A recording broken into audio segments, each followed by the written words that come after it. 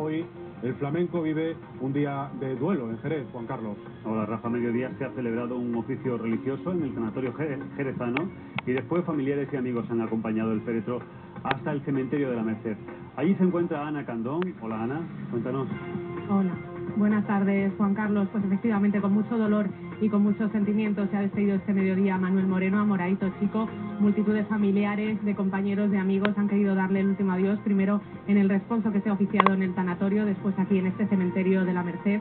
Hemos visto a grandes del flamenco como Diego El Cigala, Diego Carrasco, Manolo Sanlúcar, Paco Cepero, también gentes del mundo del toro como Padilla o como el maestro Curro Romero. Y una curiosidad, Moraito descansa ya y su tumba está justo al lado de la de otra de las grandes del flamenco, la de la Paquera de Jerez.